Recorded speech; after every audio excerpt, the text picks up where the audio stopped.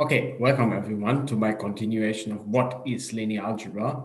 Today I want to talk about inner products, or actually I want to explain why they're useful and in what sense they generalize uh, angles and the notion of, of lengths of something. That's mostly about angles, but there, there's also some lengths involved. And uh, the whole idea in the end will be that you look very carefully add something you like, like a dot product. We will see it on the next slide. And uh, it's measuring angles and lengths. Um, you boil it down to its skeleton, to its most basic properties, you generalize it, and you get generalizations of angles and lengths. Um, this is, I hope uh, by now you understand that this is kind of a general philosophy in mathematics, right? You strip something down, to its most basic properties. And then you try to generalize from there. And that's exactly what we're doing today. So we start with something, well, fairly standard. It's called a dot product, and it's it's super easy. Or sometimes it's called a scalar product. It comes the various names. But anyway, it's super easy. And it's very surprising that it contains so much information because it's, it's a very, very, very easy procedure. It's almost the easiest thing you, you can imagine, much easier than whatever matrix multiplication. Secret is matrix multiplication. It's a special case of matrix multiplication, but we don't need to know that. Um, so um, I illustrated here how it works for, let's say, R3. So we have to take two vectors in R3, V and W, and it's very easy. So the inner product of them is usually, or the, the dot product of them is usually sometimes denoted by, by, by those, uh, well, angle brackets. Um, sometimes by dots, that's why it's called a dot product. But anyway, so as I said, it comes under various names and uh, various notations. Mathematicians can never uh, agree on any kind of notation. So anyway, so, this is the definition. It's very easy. You take you take it coordinate wise. You have a green coordinate, the first coordinate. You have a red coordinate, the second coordinate. And in this case, you have purple coordinate, the third coordinate, and you just multiply them coordinate wise, so color wise. Right?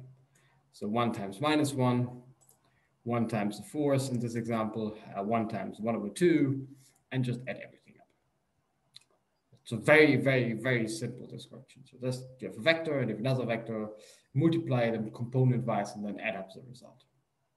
In this case, we get minus one over four, but that, that, that's just a calculation. And I mean, I don't know how you feel. I think this is a really, really simple definition. And it's very surprising that it contains actually geometric um, interpretation. For instance, this guy was itself. So let's say for V and W, it's of course the same. So if you take V as itself, you basically get the length. You get a little bit too much.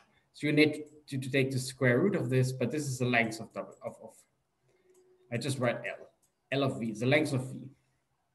So the length of V is contained in this dot product by just taking uh, something dotted with itself, take the product with itself. Um, similarly, of course, for the length of W, and I've done here the calculation for you, it doesn't, doesn't matter so much. So we get those numbers. But, um, but it, okay, that's already pretty amazing, but there's more. There's also the angle. The angle is also encoded. The angle between, so here in my picture, this uh, light blue angle between V, so V is pointing in this direction, and W, W is pointing in this direction. Um, in this case. And of course, they always lie in some plane, right? Um, they might they might coincide or they might lie on the same line, but they lie, lie at least in some plane. And in this plane, you can measure the angle between those two vectors. And it turns out that the dot product is basically doing that in the following way. So the length of V times the length of W, and we already know them because we can compute both using the dot product. So we can kind of ignore them. So, so, let's say both of them are one. You have unit vectors, vectors of length one. They're kind of normalized to be of length one. Then, so let's let's ignore those vectors. Um, they are there, but let's ignore them. That's what I'm trying to say. Then um, the cosine of the angle between those two vectors is actually the dot product. So in order to get the uh, the theta here, the, the angle, you you basically reverse the cosine. So you take the arc cosine of um, whatever. In, in, this case, it's this number because we have still have to divide by those lengths, blah, blah, blah, blah, blah, whatever. Basically, what you do is the arc cos of uh, the dot product is the angle between those, those two vectors. And I said again, this is amazing. It's a really, really simple definition, component-wise multiplication and addition. And you get the length and the angle. I mean, this is really good. Okay, so that's something you should like. Well, maybe you should, you shouldn't, but at least that I like. And um, well, then you would just try to generalize it, right? Because that's what scientists do. That's what mathematicians do. Well, scientists in general and mathematicians in particular. Um, for example, an idea which we will generalize is the following. Of course, you can talk then about um, whether things are orthogonal. A very easy definition, right? So, so this thing measures the, the angle. So angle of 90 degrees would be when they are orthogonal, like here and here. And this would be orthogonal, of course. Or if they would lie slightly differently, like this one. And here's the corresponding coordinate vectors, if you if you if you wonder. And if we would do now calculate the scalar product, you would see um, that the angle is 90 degrees. So the theta here. So usually the theta would come in, in, in values of pi, but anyway, you can also think in, in degrees if you, if you don't, don't like uh, multiples of pi. Um, so anyway, um, so 90 degrees. So it turns out that this happens, uh, if you think about it a little bit, look at this description. So let's say my my um, my my vectors are not zero because for, for the zero vector everything is stupid anyway. So let's assume they're not zero. So the length is not zero. So I can basically ignore the length. I can I can uh, divide it out. Then two non-zero vectors are orthogonal if and only if this dot product is zero. Okay, so v and w are non-zero. That's the only assumption you need to add here as I said, because of the zero vector, everything is stupid anyway. And then you can ignore the lengths, as I said. And basically what it's saying that um, is that you get 90 degrees here if and only if the scalar product is zero, the dot product is zero. And as we will see, that makes sense to take this actually as a definition.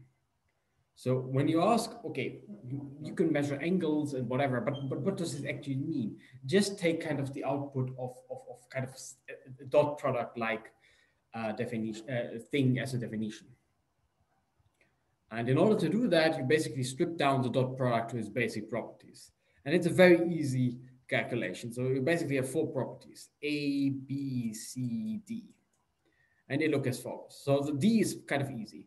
So if um, v is not zero, then then the dot product of v with itself, which is the length, is bigger than zero. But, but that makes geometrically totally sense. And you can actually calculate it if you want in coordinates. So just using this kind of definition here.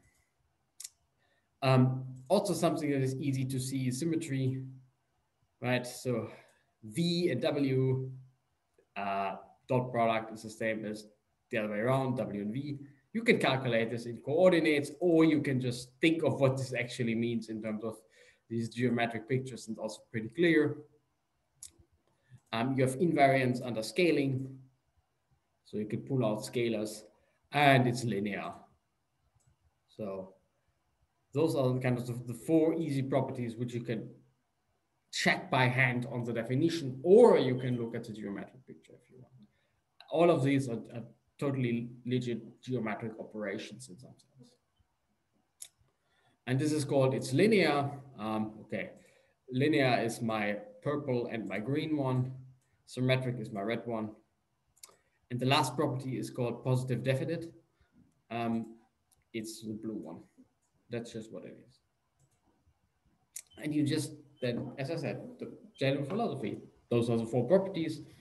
You can make sense of angles, you can make sense of orthogonality, you can make sense of lengths. So just define an inner product um, to, to, to, be a map from, from any vector space to R, satisfying exactly those properties. So uh, uh, purple, green, red, blue. Purple, green, oh, what's what? It was light green, light green, um, red, and blue, or slightly reordered here on the slide. But basically, that's that's what it is. So it's linear, it's a symmetric, it's positive definite.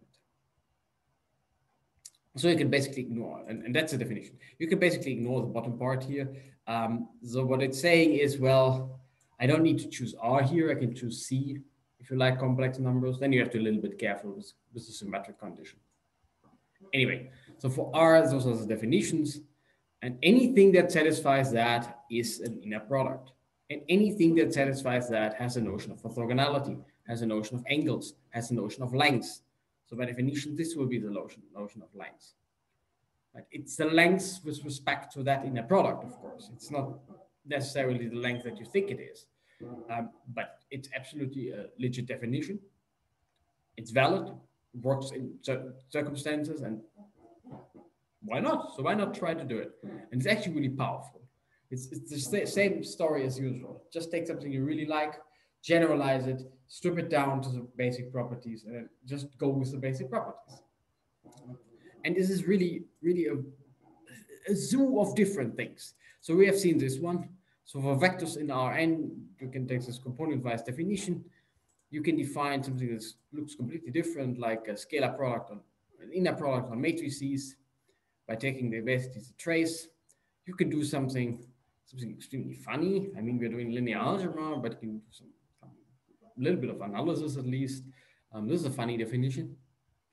Um, so for any function, um, f and g, so here's a g missing, um, they go from the unit interval to r, and you can define the inner product by this formula, by measuring, um, uh, well, the uh, the integral from one.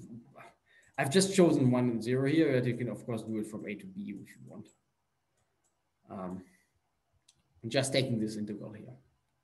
And orthogonality in this setup, if I would have, let's say, to take a to be minus one, and I take b to be one, orthogonality in this setup would just exactly mean that, well, so this is f times g, and you take the interval of f times g, and this just really means that those that the integral, the interval, so the integral of f times g is just measuring those areas here, and orthogonality means that underneath f times g, those those values would cancel. So it's a completely different definition of orthogonality. Satisfies exactly the same properties as the usual orthogonality, um, but it's just completely different. But it, it, looks like a not too bad definition if you care about uh, functions, right? Okay, so takeaway message, use inner product is just generalization of standard measuring of angles in in whatever R3, R4, R2, whatever you like. And you can just then apply it to, to various contexts like, like, like functions, which is, which is pretty cool. Okay, thank you very much and hope to see you next time.